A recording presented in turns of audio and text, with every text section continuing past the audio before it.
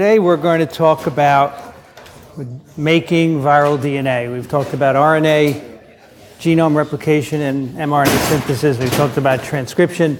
And today is our last uh, discussion of nucleic acid biosynthesis.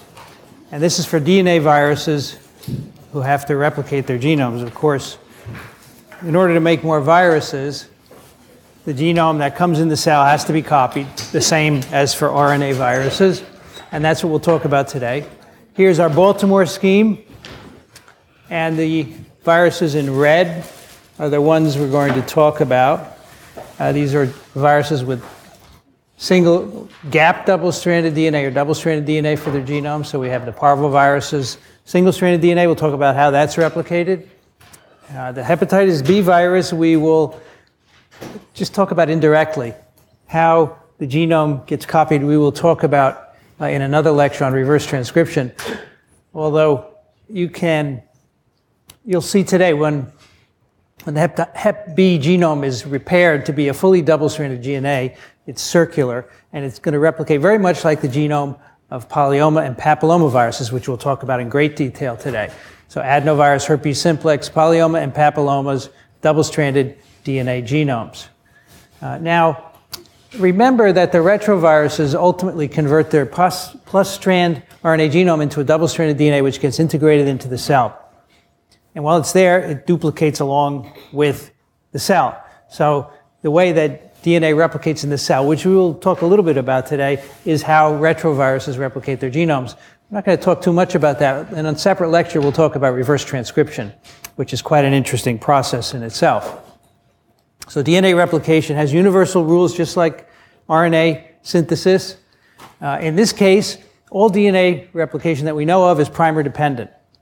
So at the top is our template strand in black from 3 to 5 prime. There is a red primer hybridizing to it. So all DNA synthesis that we're going to talk about is primer dependent.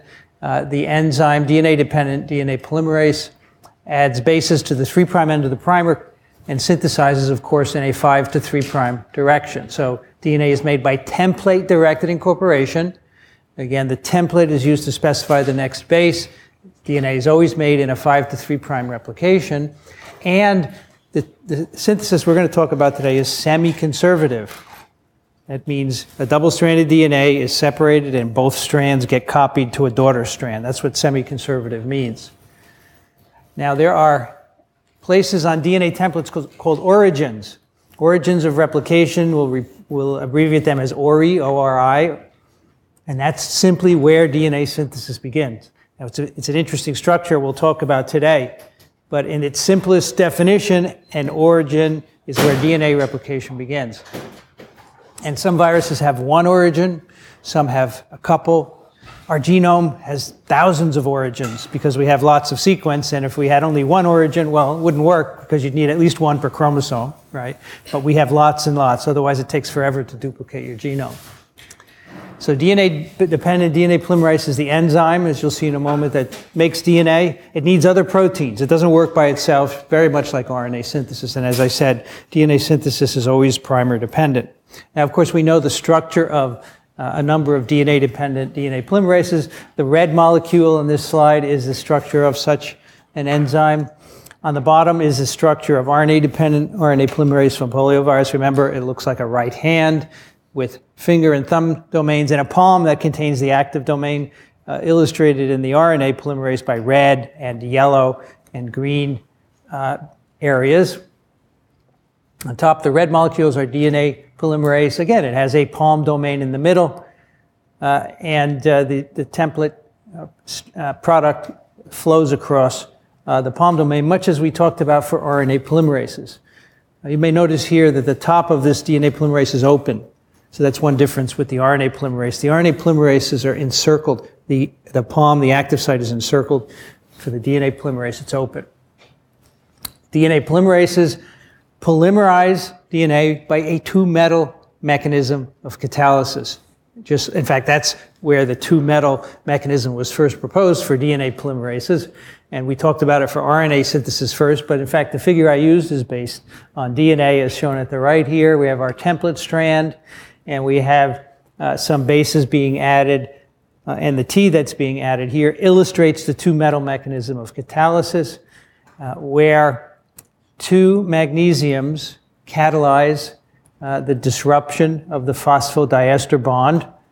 Uh, and those two magnesiums are held in place by two aspartates, uh, aspartate A and aspartate C. And they're essential for catalysis. So they remove all but one phosphate, and the liberated energy uh, allows for the construction of a phosphodiester bond between two bases with one phosphate in the middle. Very similar to RNA. Uh, why does a virus require a host for DNA synthesis? Because no virus can do DNA synthesis on its own. It's one of those facts that you should remember. It's important. No virus that we know of can do it all on its own. It needs at least one protein from the host cell. So at viral DNA, always synthesis always requires synthesis of at least one viral protein. The minimal uh, viral protein is one for the bigger viruses. Uh, some uh, some viruses require more, and that's why, as we said last time, DNA synthesis is always delayed after infection, because it, the viruses have to make at least one protein. And for the simplest virus that we'll talk of today, SV40, a polyomavirus, you'll see just one protein is needed to orchestrate DNA synthesis. The rest comes from the host. And that's what we've got here. Simple viruses require more host proteins. They don't have room to encode a polymerase and all the accessory proteins. But bigger viruses encode many proteins, the polymerase, accessory proteins. We'll talk a little bit about that. But they all need at least one. As far as we know, and this could change in next year or in 10 years or in 20 years, as far as we know today, all DNA viruses that we know of require at least one cellular protein in order to carry out uh, DNA replication. And that includes the pox viruses, which replicate in the cytoplasm. So you would think they would have everything they need because they're independent of the nuclear bureaucracy, as, as I like to say. But they, they still need at least one protein from the host. Very interesting.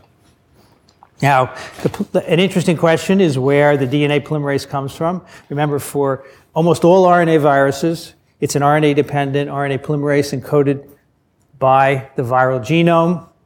Exception are retroviruses, which have a reverse transcriptase, but it's also encoded by the viral genome.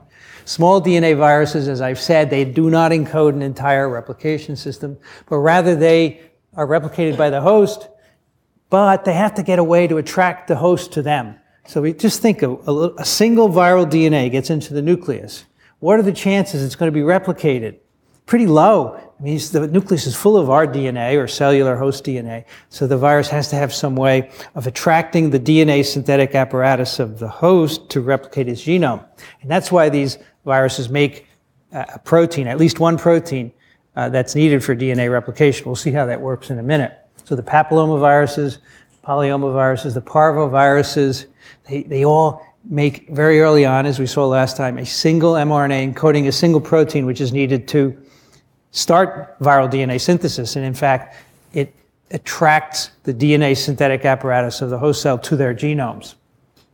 Larger DNA viruses, uh, as you'll see, encode most of their own DNA replication systems. The herpes viruses, the adenoviruses, the pox viruses, they encode DNA polymerases and accessory proteins, but again, they don't encode at all. They all need at least one protein from the host cell. And what are these viral proteins that are encoded in the genome and which participate in DNA synthesis? Well, of course, for the bigger virus, there's a DNA polymerase and other proteins that are needed for its activity. We call them accessory proteins. I don't go through all of them with you here. It's not important. I'm trying to give you an overview of virology.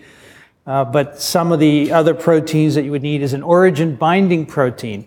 Uh, as you'll see, that's one of the ways that viruses attract the cellular synthetic apparatus to their genome. Helicases to separate the two strands so they can be copied. Exonucleases, which are needed to correct errors. DNA polymerases are, are, are different from RNA polymerases because, well, both polymerases make mistakes. In fact, if they didn't, uh, we probably wouldn't be here because evolution depends on mutation, and mutation is caused by mistakes made by polymerases. DNA polymerases have exonucleases that can correct the mistakes, so they have a lower mutation frequency. RNA viruses don't have any such correction mechanism, make a lot of mistakes. We'll talk about that later. And then, of course, you need enzymes of nucleic acid metabolism, things like thymidine kinase and ribonucleotide reductase, DUTPases, enzymes that make the NTPs and the DNTPs that you need for DNA synthesis. So those are just some of the viral proteins made by some of the bigger viruses. The little ones don't encode uh, any of these except the origin uh, binding proteins. So our first question, which statement about viral DNA synthesis is not correct? Large DNA viruses encode many proteins involved in DNA synthesis. Small DNA viruses encode at least one protein involved in DNA synthesis. Uh, viral DNA replication is always delayed after infection because it requires the synthesis of at least one viral protein, and some viruses encode all proteins needed for DNA replication. Right, the answer here, of course, is D. Some viruses encode all proteins needed for DNA replication. That's not correct. Right? I think I said that about 10 times already today. So, no virus that we know of encodes all the proteins needed for viral DNA replication. There's at least one that has to come from the cell. Um, all the other things are correct, but D is not. Now I want you to remember that. This, when I, these quizzes typically uh, ask you about things that I think are the take home messages. One of the things that we're going to address today is how viral DNA genomes with very different structures are replicated. It's not just a double-stranded linear DNA like we have in our cells, but viruses have all different configurations as you've already come to learn. So we have single-stranded templates, uh, we have double-stranded circles, we have double-stranded linear molecules, and the pox viruses, we have a double-stranded linear molecule with the ends attached. So you may think, how is it possible for any one mechanism to address all of these? Well, it's, it's a similar mechanism, but there's some twists that make possible the differences, and we'll talk about that uh, today. Now, you see on these slides uh, viral origin binding protein, the red uh, oval there. And so, wherever this is binding, it shows where the origin of replication is for these genomes. For the parvovirus single stranded DNA, it's at what end from the, for the double stranded um, circular molecules, it's at the origin of replication in the middle. Of course, it's a random, it's a, place relative to somewhere else. Uh, for herpes virus, it's, it's uh, in the middle of the genome and uh, so forth. So we'll talk about how those work today. Now, despite having these diverse uh, genome structures, we can look at principles, we can learn about principles of replication. And one of them is that there are basically two mechanisms of double stranded DNA synthesis. In other words, start with a double-stranded genome and make c- copies of each strand. There's two ways that we can do that uh, that happen among cells and viruses. There is replication fork and strand displacement. All right. Now, on the left, replication fork is what our uh, chromosomes are, are the, the, way our chromosomes are replicated by our polymerases and also by papilloma, polyoma viruses, herpes viruses, and retroviral proviruses. Those are integrated into the chromosomal DNA, so they're replicated by the same mechanism that our chromosomes are replicated by, and that's replication fork. The replication fork, what happens is the double-stranded DNA is separated by the replication proteins, not the whole thing at once, but just a little area at the origin initially, and then it melts. Uh, and then you have DNA synthesis at both strands, since you get what looks like a fork, and that's why it was called a replication fork, because people saw this in electron micrographs many years ago. The synthesis on both strands is different. On the two strands is different, as we'll see in a moment. On one strand, it's continuous, 5 to 3 prime, and on the other strand, it also has to go 5 to 3 prime, but it can't be continuous because it's got to go in the opposite direction because that's the way the strands are oriented. So you have discontinuous replication.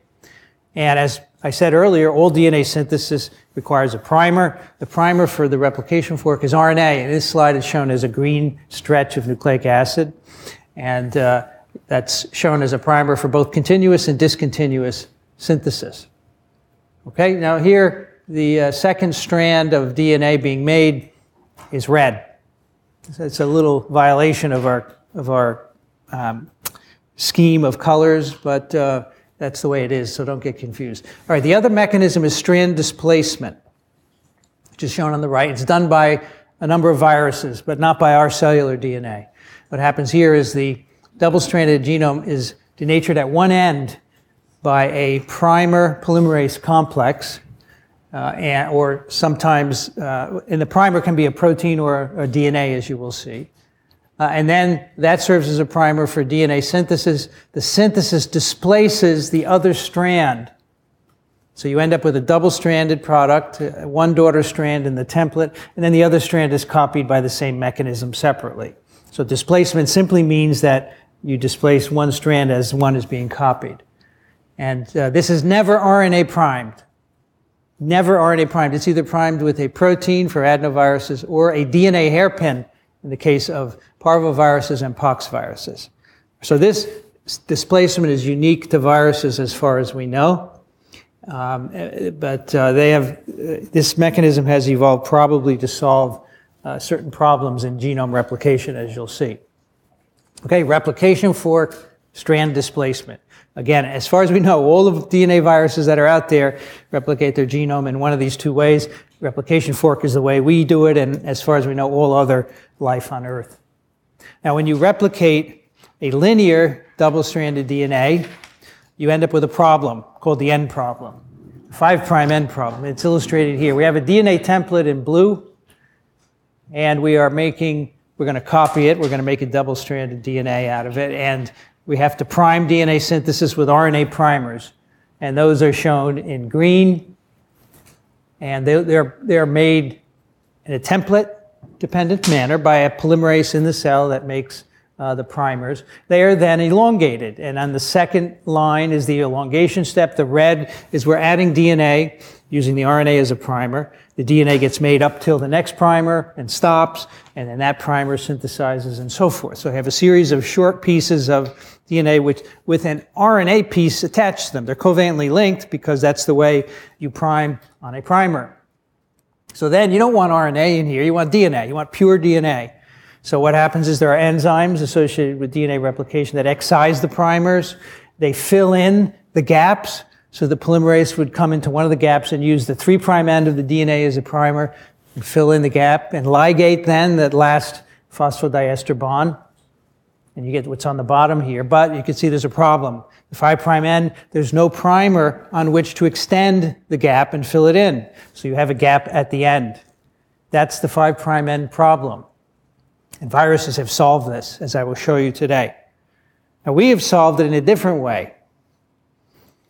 We have something at the ends of our chromosomes called telomeres, right, which are uh, assemblies that replicate themselves as a reverse transcriptase, actually, encoded as part of the enzyme that does uh, copies telomeres.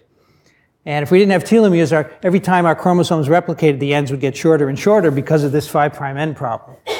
And uh, we have telomeres that extend the ends so they stay the right length.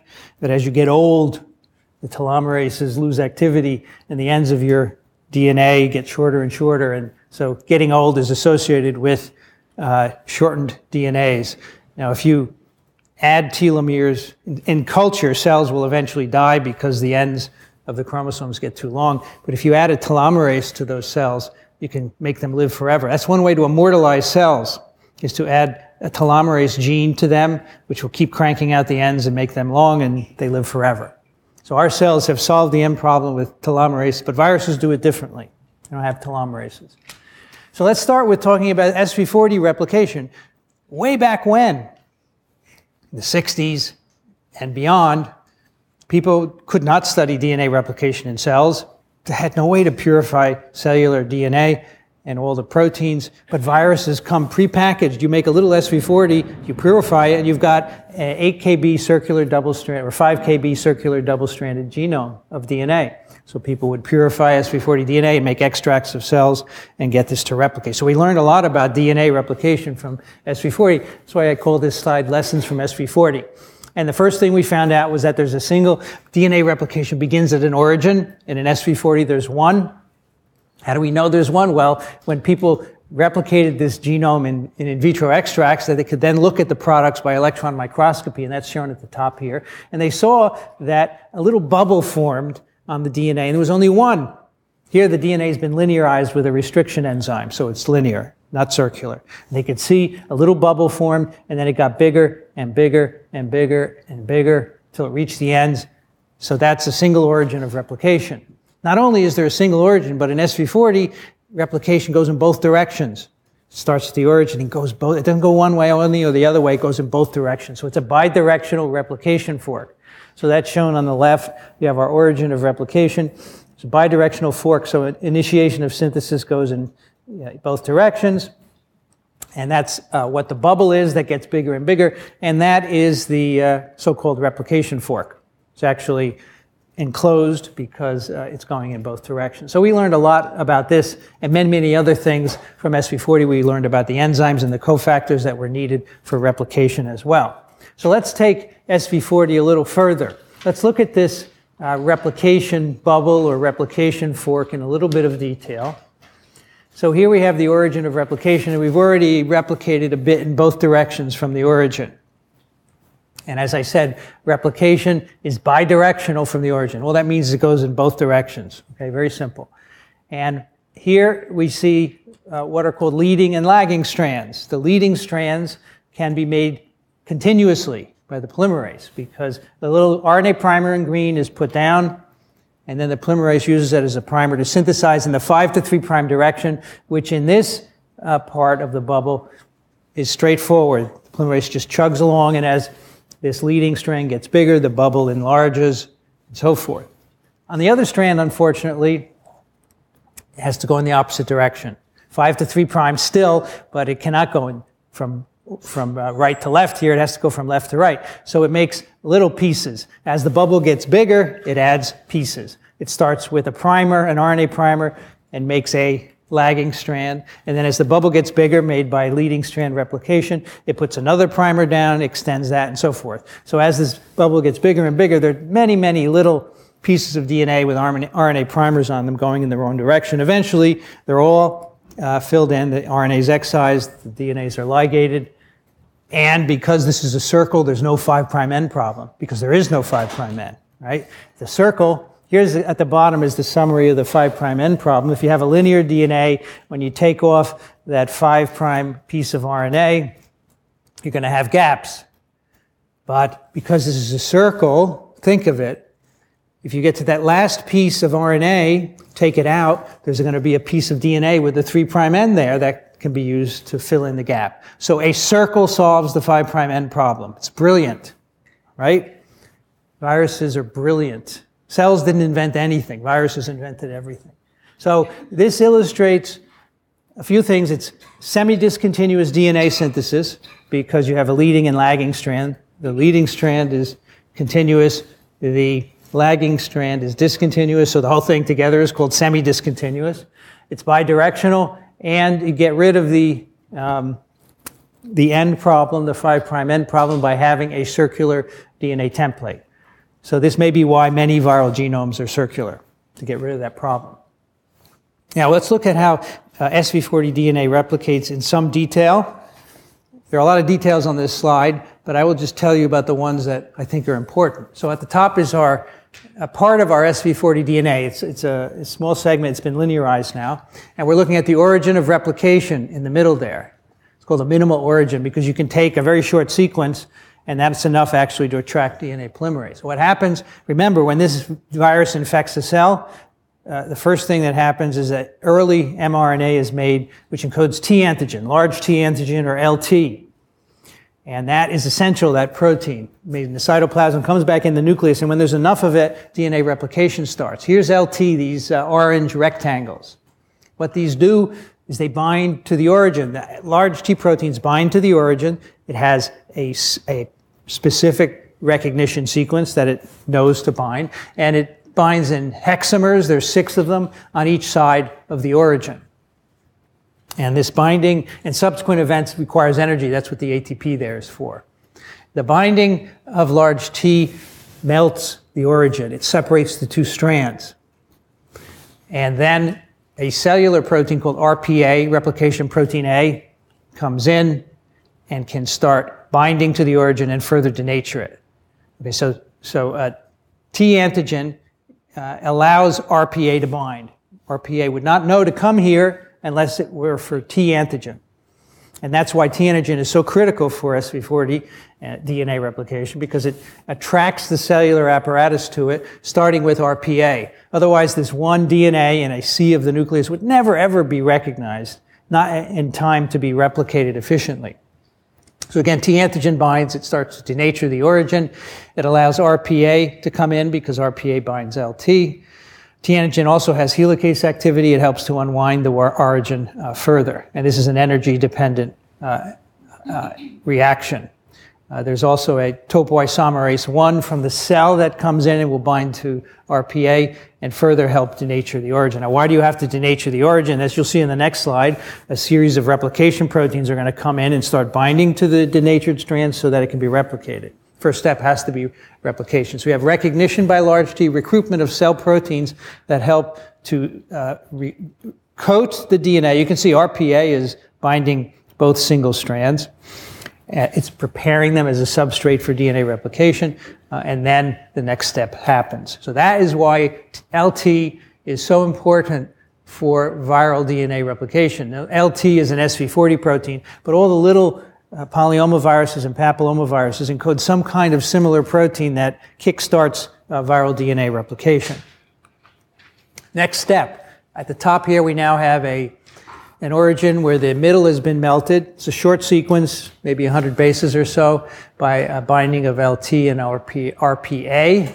Uh, then we have some cellular proteins coming in. Remember, LT is the only viral protein that's going to be involved in DNA replication, but it has an important role. Then we have cell protein called primases. Polymerase alpha primase is going to synthesize the little RNA primers, and then it's going to start making short pieces of DNA, and then we'll need uh, DNTPs and NTPs for that. So now we have synthesis of RNA primers and synthesis of short DNA fragments using the RNA primers. Then more proteins come in. You know, you don't need to know the names of any of these. The only thing you need to know is LT, that it binds the origin and recruits the DNA synthetic apparatus. I want you to appreciate how this happens. So more cellular proteins come in, uh, RFC, pCNA, and more energy. Uh, and these will eventually pull in a new polymerase, polymerase epsilon, that will make longer DNAs from the short fragments. Uh, and there's, there are very interesting mechanisms that happen here, but all of this is, is a cellular machinery. All these proteins now past large T are cellular proteins, enzymes, and accessory factors that are coming in and helping to make large T, uh, large DNA. And you can see that the DNA from the origin is going in both directions. So far on just one strand, eventually it starts to go on both strands. So here, uh, more, more RFC, pCNA. A new polymerase comes in a bit later called Delta. So there are a number of different polymerases that participate in this. You make uh, leading strands now and eventually uh, lagging strands as well. So the leading strands are very easy to make because they're, they're straight 5 to 3 prime synthesis. Uh, and then eventually lagging strands get made in the other direction. Again, all based on RNA primers. And then finally, as this is happening, the bubble is getting bigger, the replication bubble is enlarging. The RNA primers are removed, the, the gaps are filled in, ligation occurs to seal the uh, 3' and 5' prime ends. And this is all happening as replication occurring. It's a concurrent process. There are amazing movies of this on YouTube you can find of people who have animated this to show the amazing complex and how the DNA uh, is, is replicated and moves through all of these proteins. But that is basically the process. Eventually, this um, bubble will get big and encompass the whole molecule, so, and you'll finish DNA replication. And let's talk about what happens there. Now, there are two topoisomerases uh, in the cell. They're not virus encoded. Some viruses encode uh, some of the bigger viruses may encode them, but not SV40, topoisomerase 1 and 2. And these deal with the coiling and the, the topology of the double-stranded DNA molecule. At the top here, as you're replicating this covalently closed circular template, as you are unwinding the DNA, the rest of the molecule gets twisted up, as you can see here, it gets overwound. And if you take a model of, of double-stranded DNA, you can, and, and you pull, pull it apart, if you could get such a thing, you would see that the rest of the molecule gets overwound as this replication bubble gets bigger and bigger.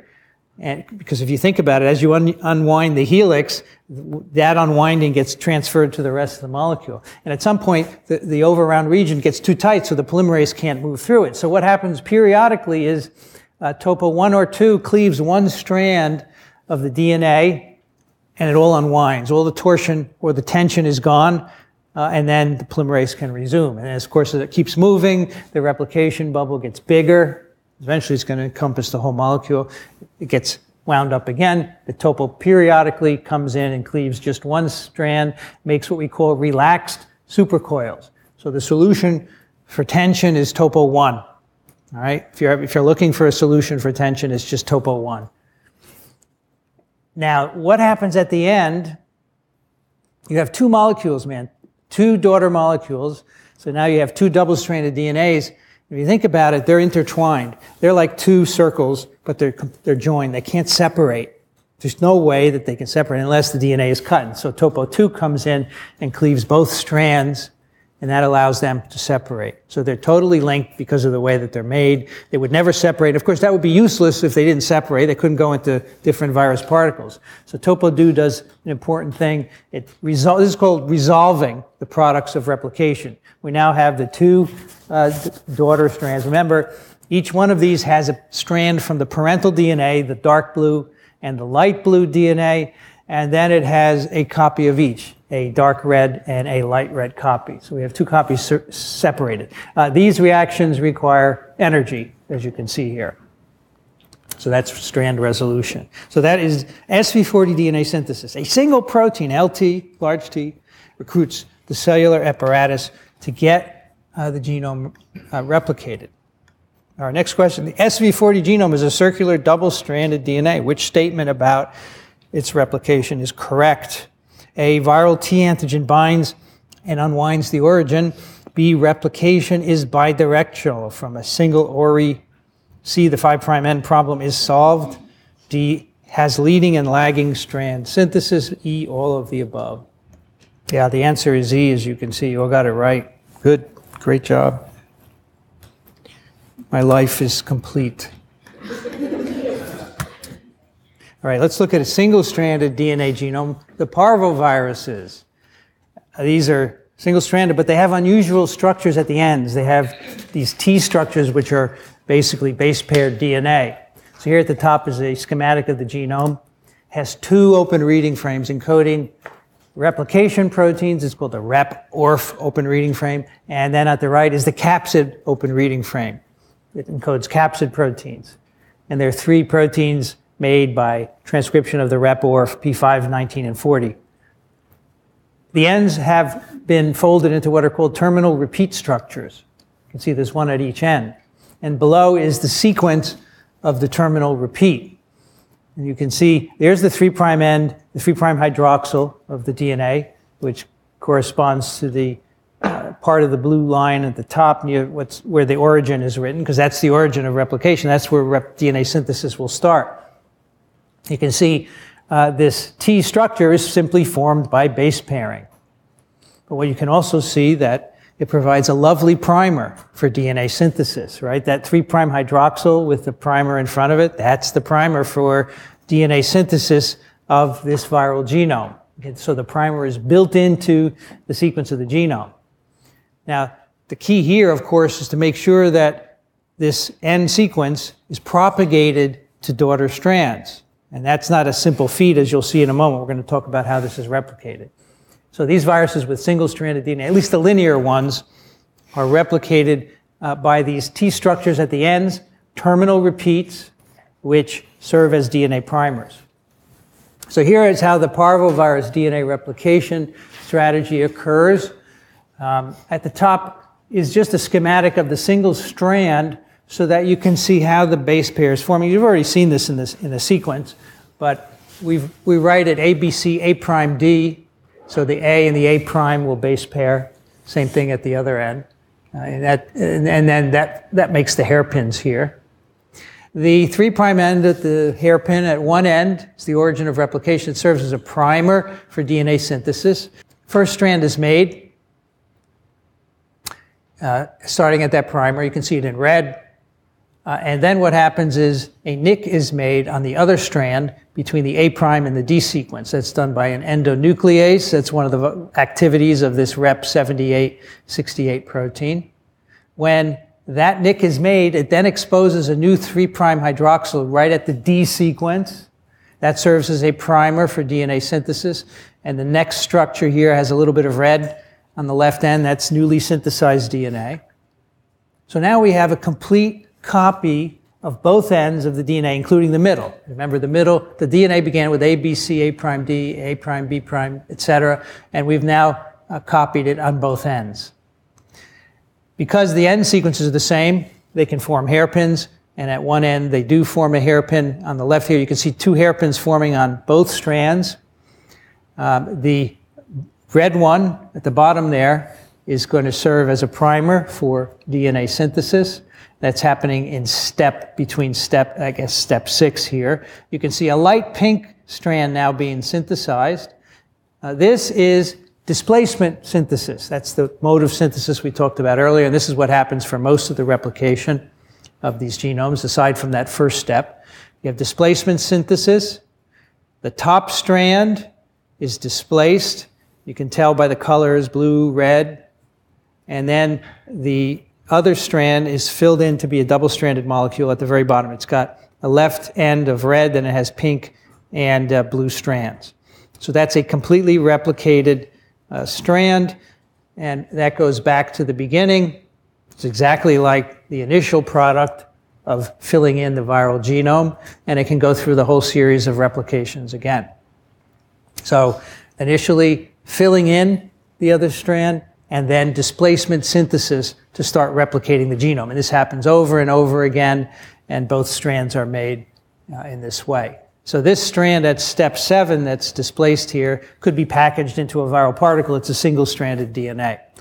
So uh, this is continuous replication. There's no discontinuous replication needed here because there's only one direction of synthesis uh, by displacement. Um, it uses the inverted terminal repeat to prime uh, at the very top, that first step, for example. So it doesn't need polymerase alpha, which is needed for making uh, the RNA primers.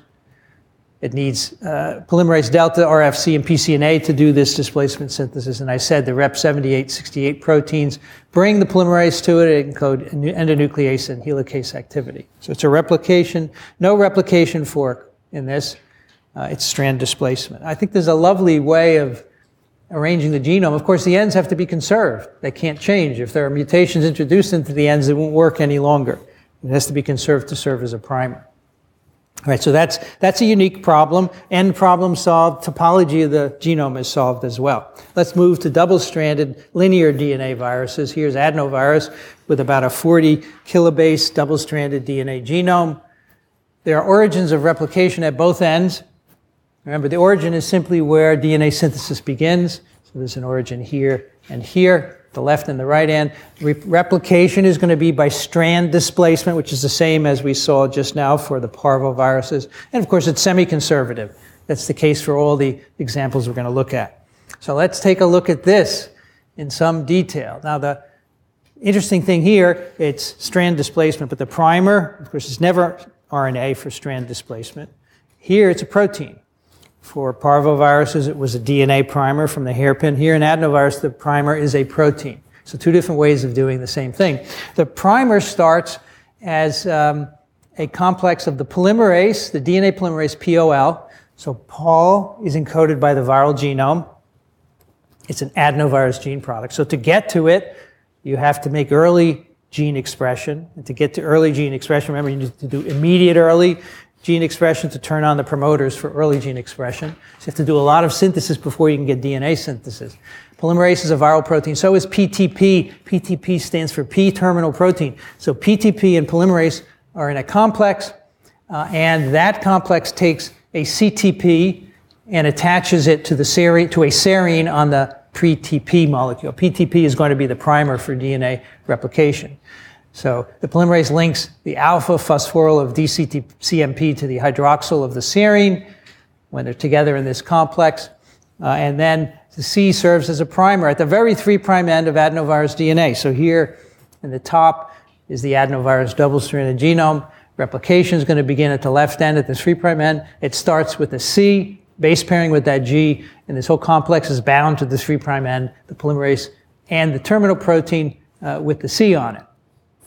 Then the polymerase starts to polymerize, copying the template. That's will be copying the bottom strand, the, the light blue strand there. When the polymerase starts to copy, it dissociates from the terminal protein, which is now covalently linked to the C, and then the, the polymerase is adding additional bases to the C based on the template sequence.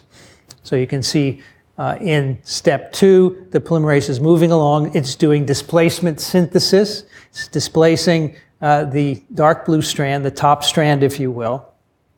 Now, in order to keep that top strand single stranded, there's a protein uh, also made by the virus called DNA binding protein, which binds to that and coats it and keeps it single stranded uh, to prevent it from forming duplexes with the opposite polarity DNA, which at some point during replication, there's going to be a lot of that around in the cell. Eventually, the polymerase makes a complete copy of the bottom DNA strand. That's step three. So we have a new red strand and we have a new, uh, we have the old light blue bottom strand. The new red strand has a new copy of the primer protein on it. The blue strand has a copy that was brought in with the virus particle. That was from replication in the original cell or the preceding cell. Okay, so that double-stranded DNA can then enter the same loop and get replicated again by protein priming and strand displacement. You get lots of DNAs made this way. But the other strand is not wasted. This strand is now coated with protein, as you can see here at the bottom right, step four. We have the displaced top strand all coated with DNA binding protein. The ends uh, are ITRs, very much like parvovirus, inverted terminal repeats. The ends of adenovirus DNA can hybridize and form this double stranded structure. It's not very long, but it's enough to be recognized by the viral DNA polymerase. This little structure here uh, by step five looks very much like the end of viral DNA that comes into the cell. So the polymerase and the PTP recognize it as a viral origin and they begin to copy it. So now in step Five, you see the polymerase has begun extending on that blue strand. It's pu- it'll push off the DNA binding proteins as it does so, and eventually make another double-stranded copy. So you get both strands copied, right? They're separated during displacement synthesis, and eventually a complementary strand is made to both. So it's, of course, semi-conservative replication, displacement, synthesis. And um, that's how you get both strands separated. There's no end problem, if you look at it, because the primer, the protein primer, starts with the first base. So there's no RNA primer needed, the protein primer here, and, and you don't have a gap at either end. Okay? So a great example of uh, replicating both strands with no end problem, and it's a linear DNA genome. Now, if our chromosomes did this, they wouldn't have to worry about telomeres, but the problem with that would be it would be only one origin per chromosome, at least one at either end of our chromosomes. It would be really, really slow. So we have internal origins, and that's why we have end problems. This is how the adenode uh, single-stranded uh, binding protein uh, is coding the DNA. It actually, the structure of this protein has been solved, and uh, it looks like a plow. And the idea is as the, the DNA polymerase is making newly synthesized DNA. It's displacing this strand, and then new DNA binding protein molecules come in. And we think they probably help to displace the strand as well, help the polymerase to, to separate those two. Our next question is How is DNA replication of parvovirus and adenovirus similar? A, they both require protein linked primers. B, replication occurs by strand displacement. C, DNA synthesis occurs in the cytoplasm. D, a replication fork occurs in both. E, none of the above. How are they similar? The answer is B, replication occurs by strand displacement. They don't, uh, both require protein link primers. Only adenovirus, remember the parvovirus is a DNA primer. You got cytoplasm wrong. That's correct. They're both nucleus. Uh, and a replication fork No, there is no replication fork. These the strand displacement, there's no fork. A fork can only occur when there's an origin and the replication occurs in both directions from the origin. That gives you a fork. Herpes simplex virus are getting bigger, bigger DNA genomes, encoding more and more proteins. The adenovirus had its own polymerase and other accessory proteins like DNA binding protein, but herpes virus encodes even more. Uh, this is, uh, as you may remember, an enveloped DNA virus with a capsid, an icosahedral capsid with the DNA in it. And the DNA is double stranded linear, quite long. It has two origins uh, of replication, two, well, two ORI S's and one ORI L. So three origins of replication. And as you'll see, this DNA, when it gets in the cell, becomes a circular molecule. So that immediately should tell you that's probably how it gets around the end problem.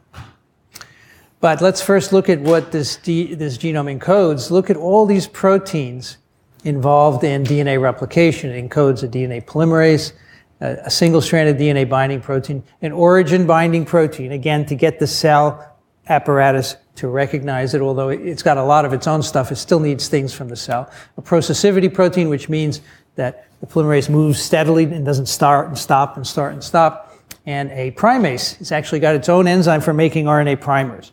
So you see, as the genome gets bigger, it encodes more and more of the things that it needs. But it doesn't encode everything. No DNA genome encodes everything it needs for DNA synthesis.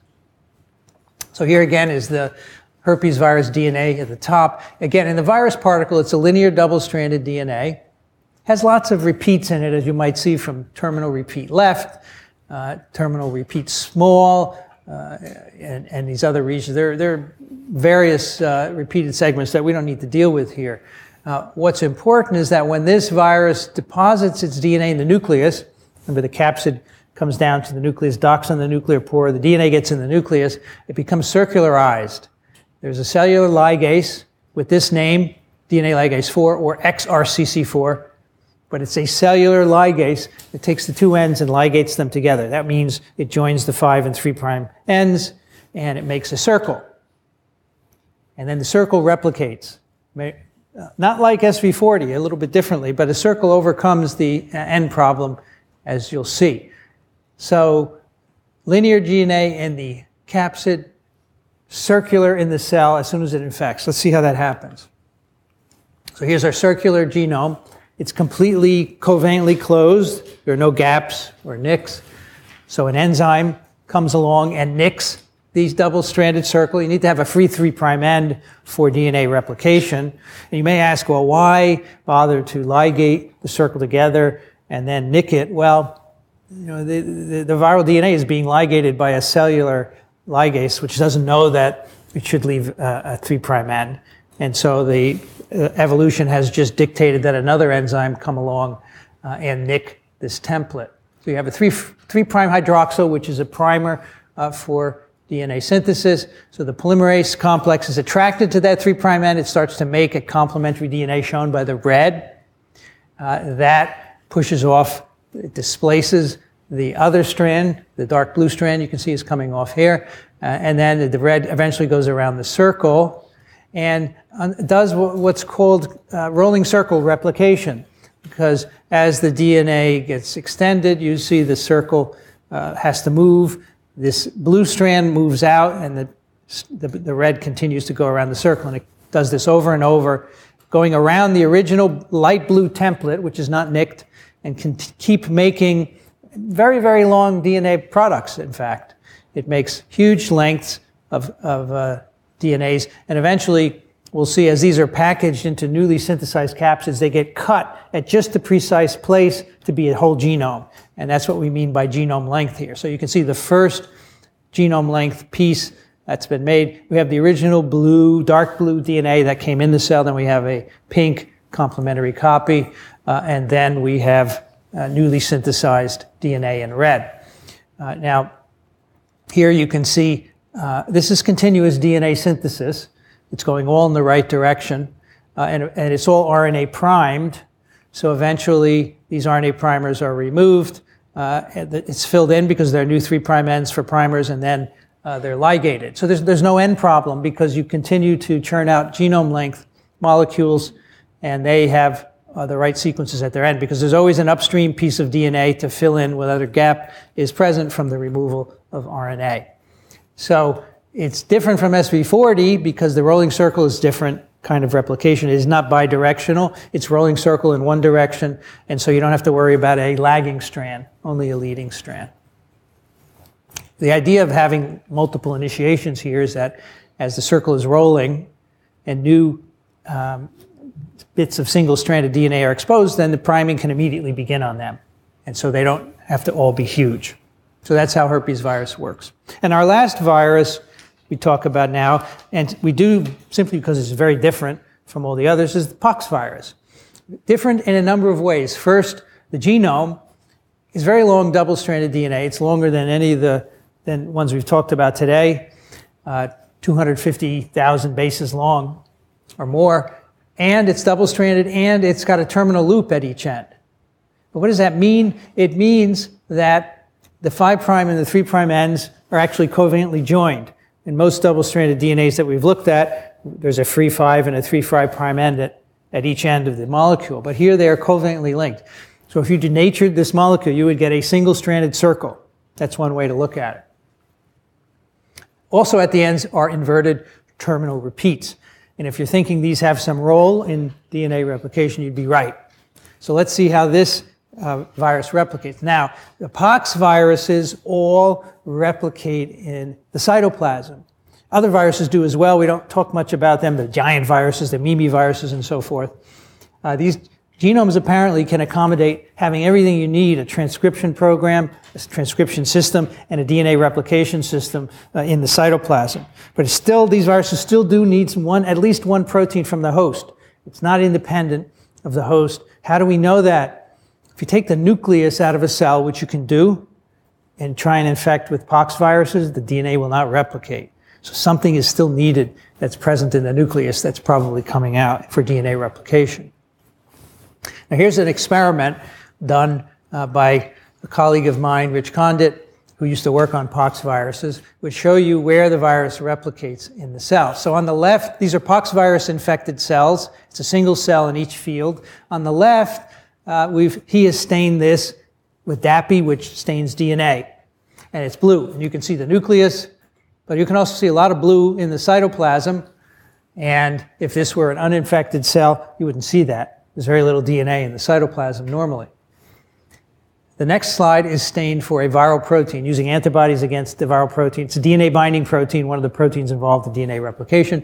You can see it's not in the nucleus, and it's in these foci in the cytoplasm, which correspond to uh, the DNA staining foci. And in the right is the merge, where you take the two colors, the blue and the red, you merge them on your computer, and you can see the DNA in the nucleus is just DNA, whereas these areas in the cytoplasm have both DNA binding protein and DNA according to the DAPI strain. So that's one way we, we do experiments we want to see if multiple proteins are co-localizing. We stain them with different colors and then we merge them. So that shows that these are cytoplasmic factories, they're called, where DNA replication is occurring because there's DNA in them and there is a viral DNA binding protein. What's missing here, of course, is an uninfected cell because you should not believe me when I say the uninfected cell doesn't have blue staining in the cytoplasm. You, if you're reviewing this paper, you should demand that experiment, that controlled experiment, because you never know.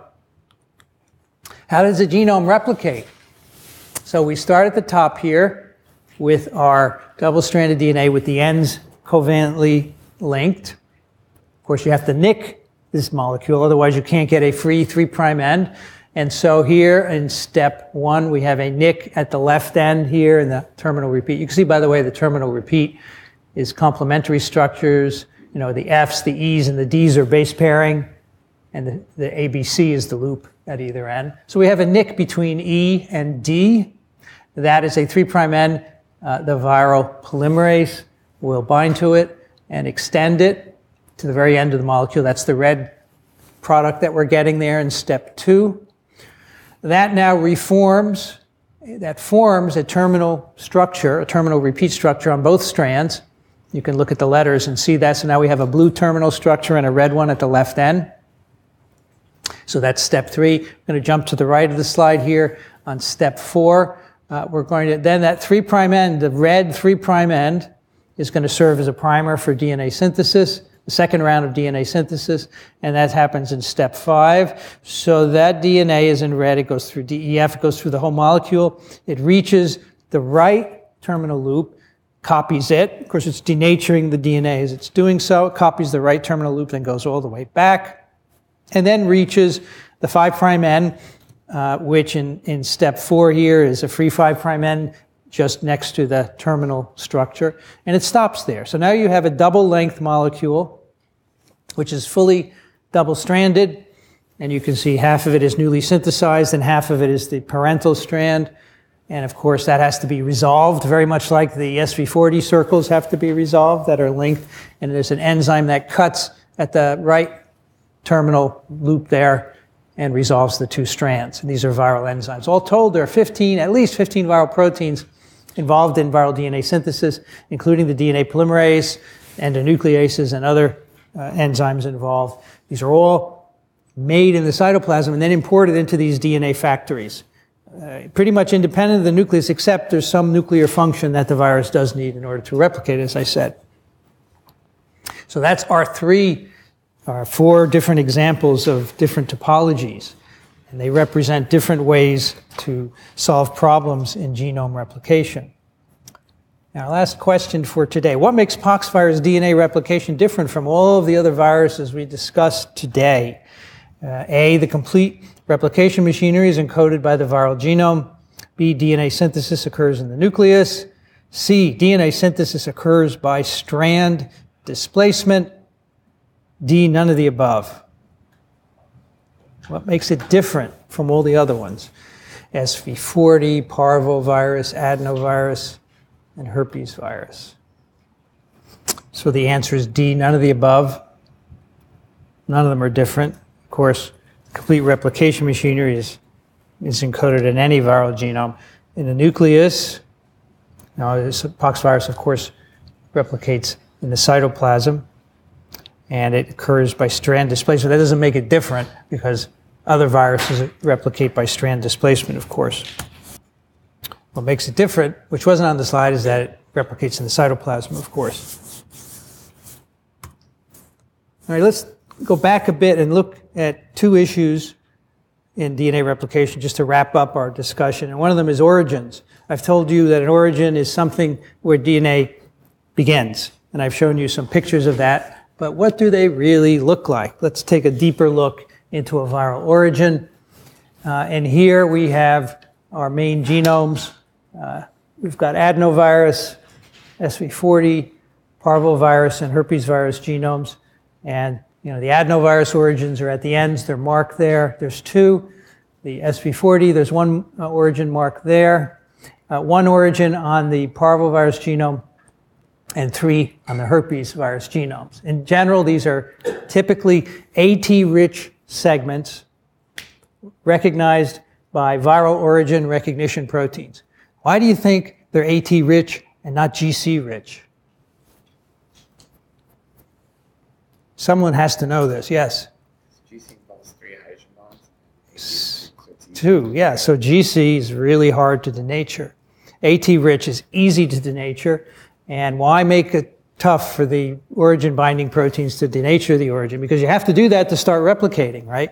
And so they're all AT rich and they're recognized by viral proteins. And that recognition for those viruses that have to recruit the cellular machinery, that helps to recruit the DNA synthesis machinery. So the uh, origins are also assembly points for DNA replication machines. You saw that, I think, pretty nicely with SV40. We looked at that in the most detail. And, and as I said, you can have uh, one to three in the genomes that we have looked at. So let's look at, at these in a little bit more detail. Here are three uh, SV40 herpes and adenovirus. And these are color coded. The DNA is blue, two colors of blue for the two strands.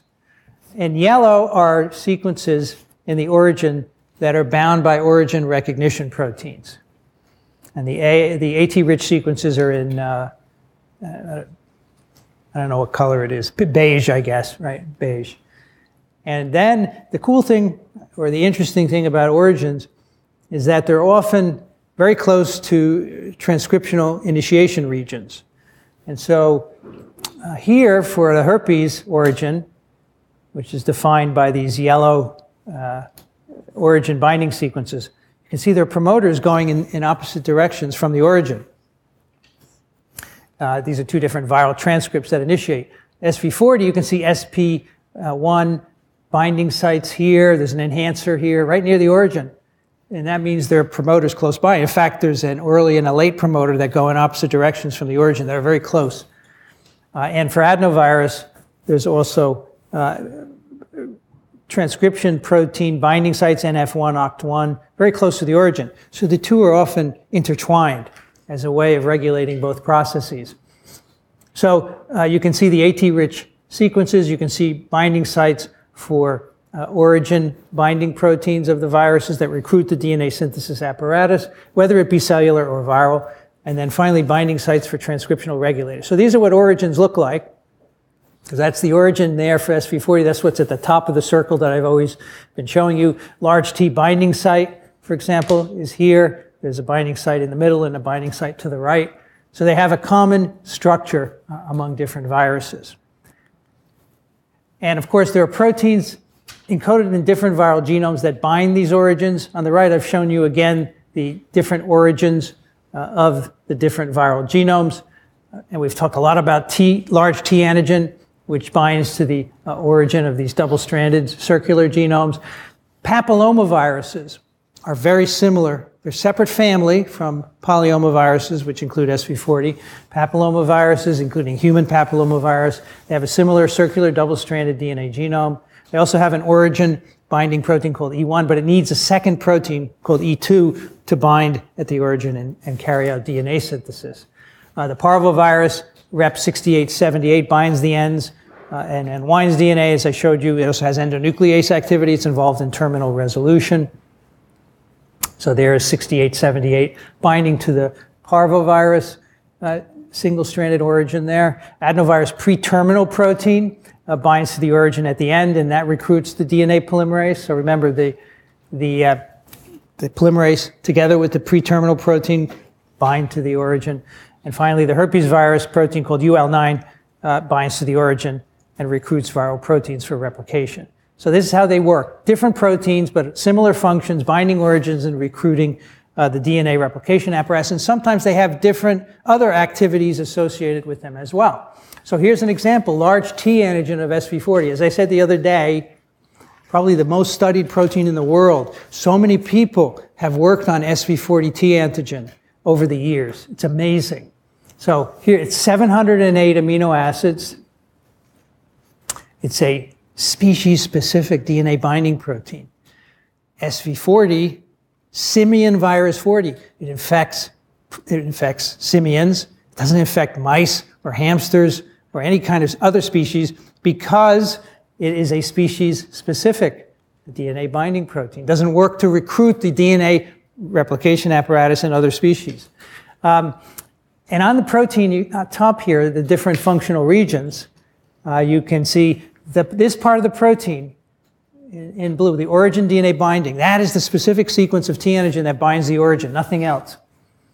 And then there are other areas that bind the polymerase. Here's the Pol alpha binding domain, so that's how the T antigen can recruit Pol alpha in. Uh, here's another Pol alpha domain. There's a helicase. Remember, it unwinds DNA. That's the helicase domain there. And many other things that we don't need to talk about. One more thing, though, that's really important here RB. RB, retinoblastoma protein binding domain. We'll talk about that in a minute. Of course, there's a nuclear localization signal around uh, just downstream of uh, 124, amino acid 124. That gets the protein back in the nucleus because that's where all this replication happens. Okay, so it's a species specific DNA binding protein for the reasons I've just told you. And it also is important for, remember, it regulates transcription as well, uh, which we talked about last time, and it controls the cell cycle. It binds and sequesters cell cycle regulators and makes cells enter S phase. And I want to end with a discussion of that. This is so important. Uh, what am I talking about? Well, uh, most of your cells in your body actually are not dividing. You probably know that neurons don't divide, but most of your others aren't dividing either. They don't have to. I mean, if if you need division, they will divide, and so there are signals to stimulate that. So if you're working out, uh, your muscles need to get bigger, so your cells there will divide. Uh, but there are many other cells in your body that aren't dividing. The respiratory epithelium and the gut tract are exceptions. They're always dividing. Your skin is dividing often and dying and falling off and so forth. But many other cells do not replicate. They do not divide or do so rarely. Okay, that's fact one. It's fact two, viruses do not replicate well in cells that are not dividing. Why? Well, if you think about today, what I've told you, most of the viruses need something from the cell that has to do with DNA replication. And a quiet cell does not replicate its DNA, so these DNA synthetic proteins are not being produced. So what's the solution? Viruses have to induce host replication proteins, and they do so by making cells divide. They force the cells into division. And all the viruses we talked about today, maybe with the exception of pox viruses, force the cells to divide in some way, and they usually do so by an early gene product. Makes sense, right? As soon as the genome gets in, it makes a protein that starts the cells dividing. Otherwise, the virus will never replicate. You're never going to get into the late phase of DNA replication. And you can guess what these early gene products are. T antigen is one of them. That's why there's a binding site on T antigen for RB. So cell cycle control, we understand really well. By the way, because we understand cell cycle control because we've learned how viruses regulate it. And we know that uh, cells uh, go through mitosis, of course, a very small part of the cycle where they divide into two. But before they can undergo mitosis, shown here in red, it's a 24 hour cycle roughly, they have to go through a growth phase where the cytoplasm increases. They have to replicate their genome. And then when only, only when that's done, when the cell has become bigger and DNA is replicated, can it then go through mitosis. But this is a cycle that's very much controlled because you don't want your cells replicating all the time. And so there are many different checkpoints, and a very important one is right down here. It's shown a restriction point, which is mediated by the RB protein, the retinoblastoma protein, originally discovered in kids who have retinal tumors because they have a deletion of both copies of the gene encoding the protein. What RB does is keep cells from dividing when they don't have to. And if you are unfortunately missing RB, your retinal cells keep dividing, and eventually they become a tumor. The recipe for a tumor, as we'll find out in a couple of weeks, is unchecked cell division. Whenever you have unregulated cell division, mutations ac- accumulate at every division cycle, and eventually you get about a dozen mutations that will cause the cell to become a tumor. But that's an, for another discussion. This RB protein is the target of many of these viral immediate early proteins because it controls entry into S, if the virus can somehow abrogate retinoblastoma function, they can get the cell to divide. And that's what these viruses do that we've talked about today. In fact, SV40 large T, human papilloma virus, uh, E7 protein, the adenovirus E1A protein, all of these proteins, besides doing the other things that we've talked about, DNA synthesis, transcription, they also bind RB and inactivate it. So in this picture, here's RB in orange. And um, the purple, the purple protein is one of these viral proteins. Large T, the HPV or adeno E1A. Now, why is binding RB work at all? So you have to go back to last time. Remember, I told you that um, E2F is a transcription factor that is actually required for transcription of adenovirus early genes. So adenovirus makes an E1A protein that binds RB and allows activation uh, of E2F binding sites. The reason that it works is because RB is normally bound up to E2F, this E2F DP complex. Now, here on the right bottom is an E2F promoter in the cell. When RB is present on the E2F DP complex, you have inhibition of promoter activity because an HDAC, as we said last time, histone deacetylase is, is stimulated and that inhibits transcription. When uh, RB is removed from this E2F complex, which is shown on the top here, you then get activation of the downstream E2 promoter, and that in the cell leads to synthesis of, of cellular genes that are needed for going through the cell cycle. So the presence of RB on these promoters inhibits cell division because the, the proteins that are needed for cell divisions aren't made. So viruses come in, they negate RB. RB is popped off of E E2F. E2F can bind these promoters, and the cell then goes into cell division. That's how RB is abrogated by these viruses. The, the viruses, the cells start to divide. And the cool thing is that adenovirus also needs E2F transcription factor for its own E early region genes. So it's accomplishing two things at once. E1A is incredibly important. E1A is knocking off RB, gets the cell to divide by removing the repression on these genes that are needed for cell division, and it also activates the viral early promoters. So adenovirus, SV40, uh, HPVs, and a number of other viruses, this is the mechanism by which they get the cells to divide. And only then can the viruses replicate in them because once a cell divides, it's, it's got its DNA system, uh, replication system activated. Now, the problem, of course, will, in most cases, the virus is going to kill these cells. So they'll never replicate forever. The cells will never divide forever because the virus is going to kill them. These are lytic viruses. But under certain conditions, the viruses do not kill the cells, and the cells live forever. And they keep dividing in a host and dividing and dividing, and eventually they form a tumor. And that is something we're going to talk about, uh, I think, in about two weeks or so, how these viruses can cause tumors and how we learned all about how tumor formation works by understanding uh, these kinds of interactions that viruses use to push cells through cell division.